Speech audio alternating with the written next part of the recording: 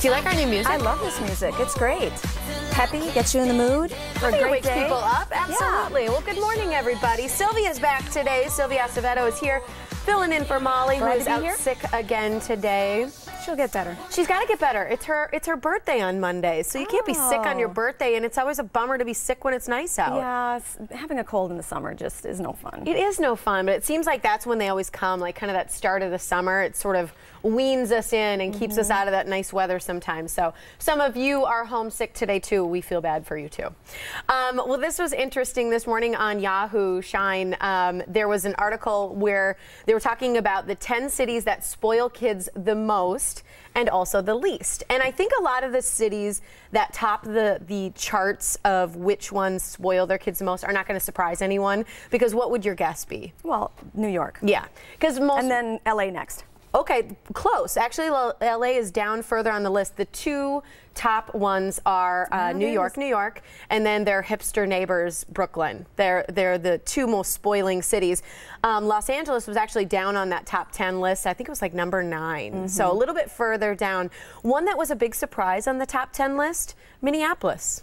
Yeah, that does surprise me. Mm-hmm. Midwestern town. Yeah. Yeah, I wouldn't think so. Minneapolis, but I can see that because if you ever go um, take a trip to visit relatives in Minnesota or something, and you're kind of around the lake area, the you know the lakes, there's there's a lot of money there, and there's also you know Wayzata and the big Lake Minnetonka, and there's a lot of kids being spoiled there. Sure. well, you know, they have I to nannied have their for some boats once. and their sea-doos and everything, right? sure. Yes. Okay, but this is what's interesting. There's a least spoiled list.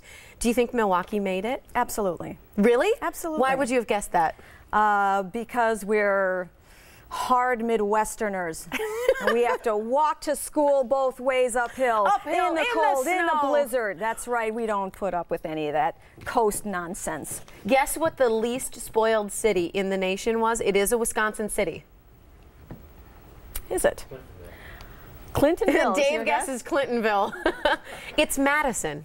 Oh, huh. The least spoiled city in the United States is Madison, Wisconsin. Now, right on under that is St. Paul, Minnesota. So its neighbor from Minneapolis says, We're not going to spoil our kids that much. We're going to have them go outside and play with the ball. And then Milwaukee is number three on the list of least spoiled cities See, in the surprised. nation. So very interesting. I thought it was really great, you know, and, and it really kind of shows that, yeah, we're get outside and go play with a bat and ball kind of people. Absolutely. And I like that. I think it's very good. Okay, um, so we want to know. Actually, we asked, is there anything, first of all, that you do to spoil your I knew you were going to ask me that. Yeah, because we want to know you too. Go to our Facebook page. Tell us what's one thing you do to spoil your child. What do you do, Silvia?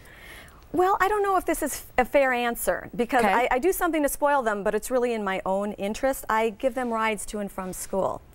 You And think that's spoiling your I- child? I do. I do. I think kids. Uh, I walk to school both So ways I. uphill in the Yeah. snow, carrying my backpack, carrying my musical instrument. Um, I, I do think kids should walk, um, but. I don't make them walk because I want the safety aspect. You know, Yeah. times have changed, so um, so I most of the time give them rides. Not Okay. always. I'm starting now that they're older. I'm starting to have them walk, and yeah. Okay, so this is just kind of off topic, but you said carrying your instrument. What Sure. instrument did you play? First French horn and then saxophone. Really? Right. Neither of which fit in a backpack. Can you still play them? No. Okay. No way. I was going to say, we're going to have to have you bring those in sometime. No way. Mm-mm. Well, I think that's interesting. I was not spoiled as a kid either. I had to walk to school. My mom worked and she raised three of us alone. So I, I really don't think we were very spoiled either. But I do definitely know some people who were. Um, and I think a lot of people who are spoiled, uh, we talked about the other day, are recent graduates because we were talking about, you know, what they sort of get for a gift oftentimes. And the monetary value of what they get is a lot. But these are some gifts that you could gift someone um, that are smart ideas for a grad. They're new apps. Oh, Okay. that's a great Do you idea. use any apps that you just can't live without on Sure. a smartphone? Sure, I do. Is there anything you can think of? Um, Runkeeper. Oh, that's a good one. Right. I like to be able to, to keep track of the distances that I run and more importantly the elevation and the pace. Okay. So I like those. Okay, Yeah. those are really good ones. I think these these idea of giving apps for Yeah. for grads, I think it's a great idea, and um, boy, they better enjoy it because when they go off to, off to college, they're going to be living a poor life. Yes, So- they are. So enjoy those $3 apps. That's okay, right. here's a real quick one that I'll share with you. It's called the, the Vocabador. Vocabador. Yeah, Vocabador, it's a vocabulary test you can buy, and it's basically it's a dollar ninety nine. I purchased it, and this is actually a challenge that you can take. And so you pick like who your mascot is and who you play, and then it gives you. So I'm the Tiffinator right there. You can see, and I'm playing against the Falcon, and then you can actually you know start playing, and they give you different words, and you have to see if you know the actual terms. So they talk about the fact that you can brush up on new word choices, making sure that you are a better writer, different things like that that you can use. Right, so they need that for the, essay, for the essays. Yeah. Yes, and it makes it fun again. Remember when you used to do that in fifth grade? This is a good one to start brushing up. You can gift that to a grad.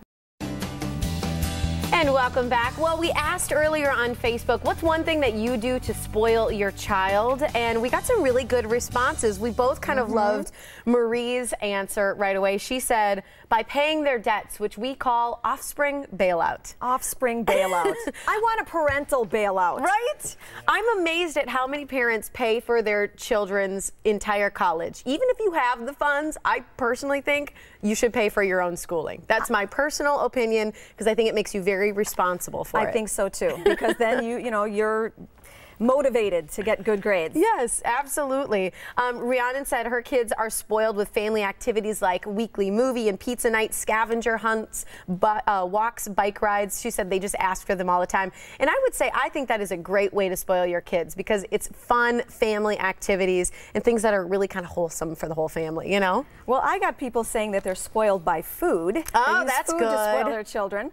Holly says, I buy their favorite foods when I shop. Each kid has their favorite. Mine are older, and I still do it. Laugh out loud. Oh, that's cute. And then Ruth Ann says, ice cream.